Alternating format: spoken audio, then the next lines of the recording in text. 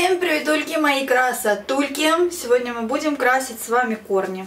После того, как я покрасила на 3% в прошлый раз, красивый цвет я еще сделала по всей длине, на девяточке. Видите, как подсмылись уже волосы, как знаете, да, пепельные, все серенькое такое смывается быстро. В принципе, не сильно бросаются корни э, в глаза, особенно когда голову помоешь то вообще все сравнивается.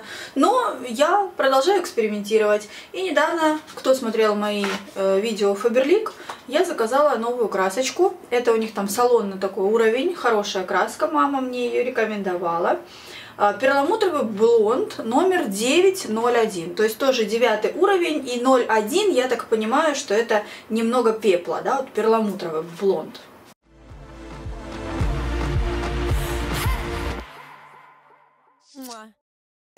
Посмотрим, что это будет.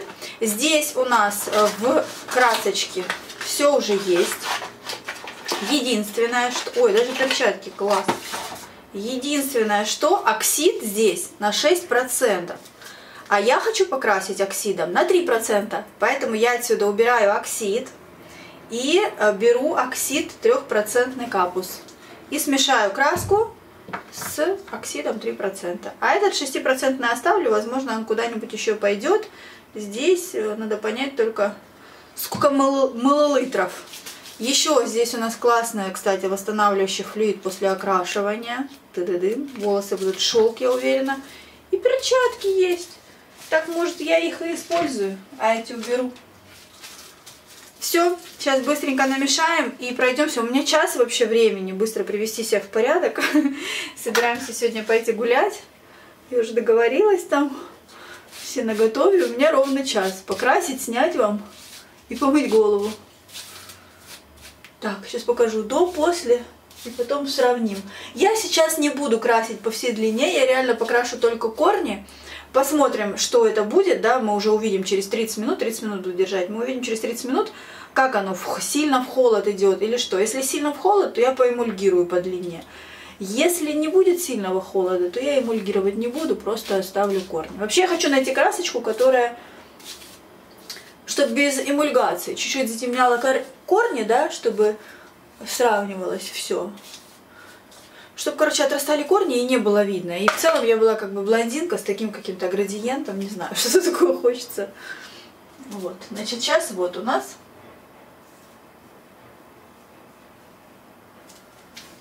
Все, поехали краску разводить. Краска, я смотрю, жидкая прям такая, знаете.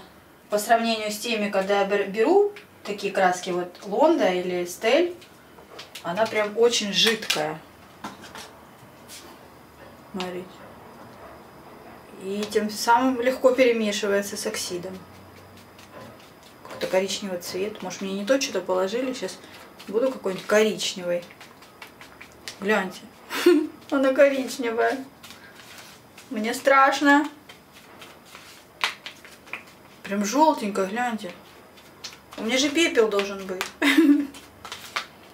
Все, перемешалось уже. Представляете, насколько жидкая краска?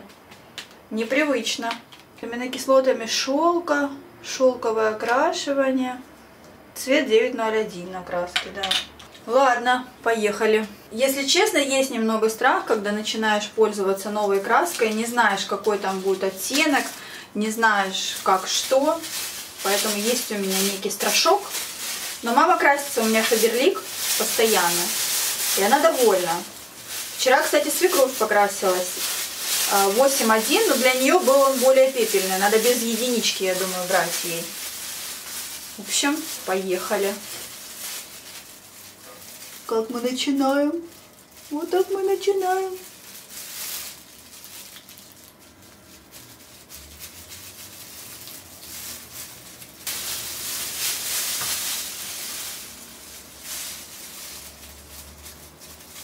Представляете, реально коричневые корни сейчас у меня станут.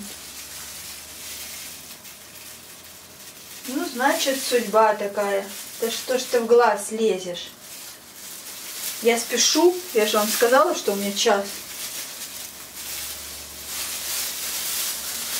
Короче, накрашу, вернусь. Еще батарейка садится. Ну что, мои хорошие, накрасила я волосы. Пока что не вижу никакого пепла.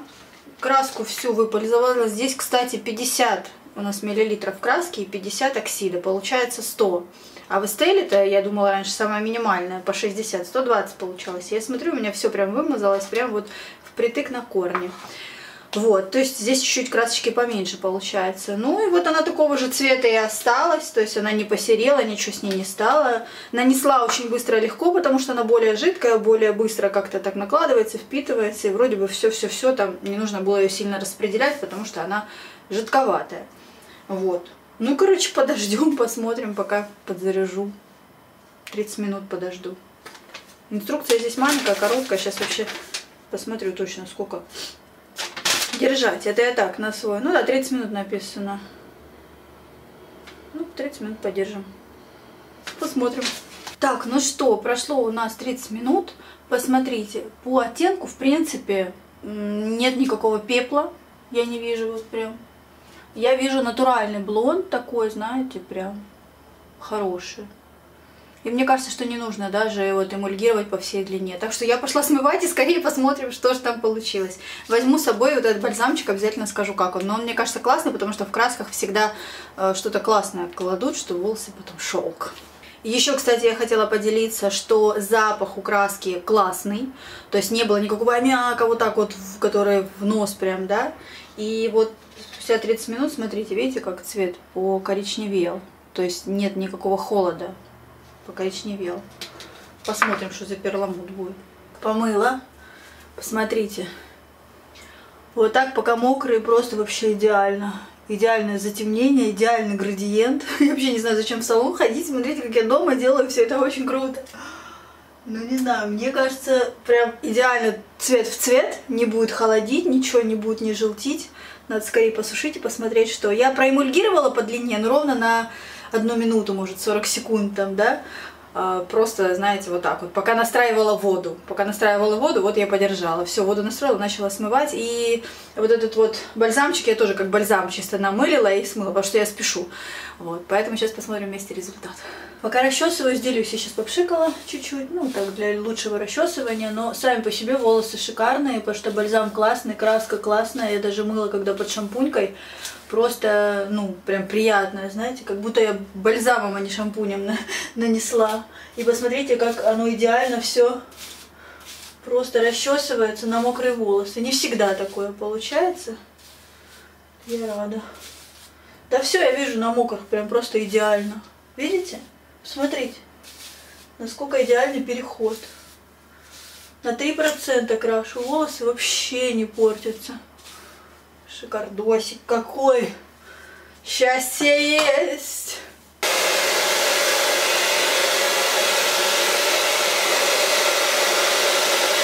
Боже мой, как долго сушатся волосы, когда ты спешишь, и надо, чтобы они высохли быстро. Короче, смотрите, идеально, вообще сушится идеально, кстати, в плане не быстроты, а в плане вот реально легкости, как расчесывание. Я думаю, это все сыграло и сама краска, этот бальзамчик, который после. И посмотрите, реально, как корень идеально встал, да? Просто идеально.